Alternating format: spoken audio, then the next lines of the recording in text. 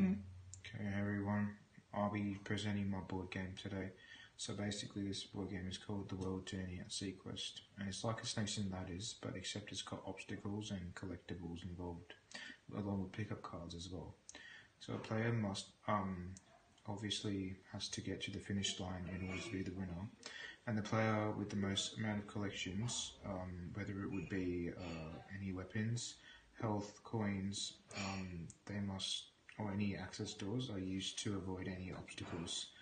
Um, and obstacles will be used in this. So, so, for example, you land on an obstacle and it tells you to um, miss a turn or it tells you to go back a few spaces. You can use those to try and, and, and avoid it.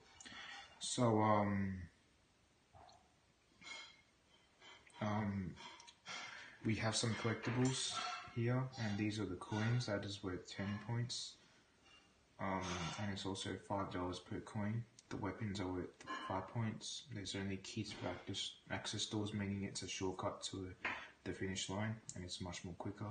And you get um, a 15% health increase uh, every time you get a, rather a lightning bolt or a heart. So, and if you land on a pickup card, you just have to pick up one of these cards, and from there, um, it will tell you what to do. So, we'll get into it. Um, basically, I've got two figurines, one blue, one red, and uh, this will just be for all the collectibles that they collect. How many, how many, what can they use against those obstacles, and how many can they hold till the end of the game. So let's roll. I would say blue goes first, so so it starts here, and this is a one, so therefore blue will get a one. Oops, my bad. We'll roll again.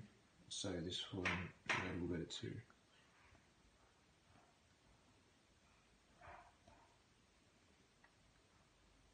Um, we'll just go again for five. So this is a five for one, two, three, four, five, and it says here, uh, go left if you land here. So if you if this is not really an obstacle, it's more of an instruction. It's not just to the obstacle part yet, but if you do, you can just go to the left, and therefore you're over here if you're on the blue. And we'll just go with the red, continued on. Let's give it a nice roll. This is a two, meaning if you come here, blue again, five, uh, one, two, three, four, five. Oops. So red again. Five again. So one, two, three, four, five.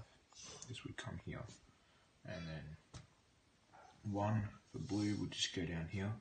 And red, oops, red would just be a five. So one, two, three, four, five.